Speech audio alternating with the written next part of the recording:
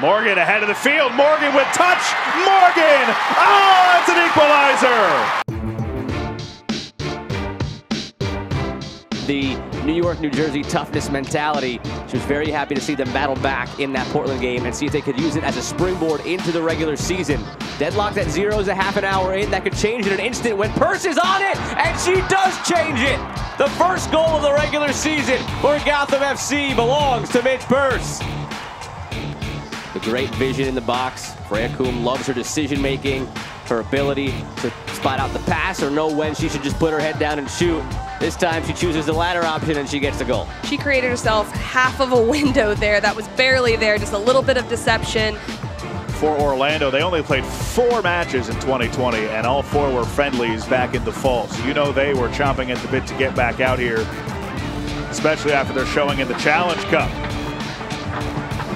Here's Sanchez. To the far side, Huster.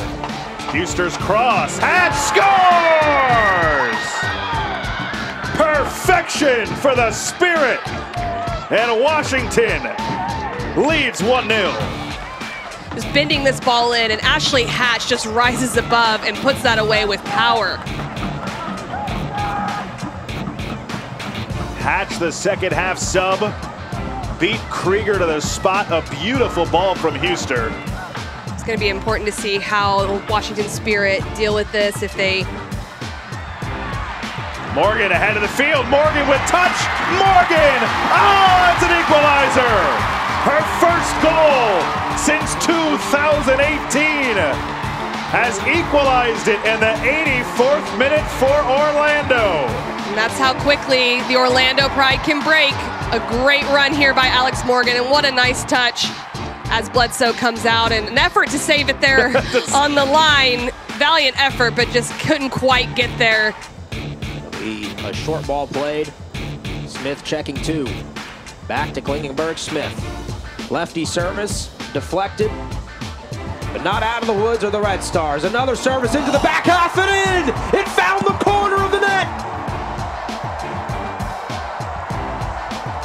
Sophia Smith just coming across this 2v1 opportunity and then having the confidence saying, you know what? I'm going to put this one into the back of the net. It's precision. Yes, there's a little bit of power behind it, but it's the precision. And then who's going to step up? Christine Sinclair. Can she do it? Canadian international, calm, cool, collected. Right by Alyssa Naeher. And it's 2-0, Portland. Christine Sinclair, she's never missing from the spot. I mean, this is why she is one of the world's best. The leading goal scorer for both male and female internationally. Makes no mistake here. Colaprico. Back post. Is this the moment for Chicago? Look at AD. Franch. Sprawling like a cat to get that one. And then just blasts it up ahead. Portland again on the counter. Smith once more. Twice as nice, Sophia Smith. And it's 3-0. It's all Portland in the first half. First thought, can I play forward? Can I find my front runner? She does just that. I mean, this is an absolutely world-class ball. And then just the brilliance of the interplay up top with Weaver and Smith. Branch, who's been with Portland since 2016. With a strong boot into that one. Haran wins the ball in the air. Weaver flicks it through.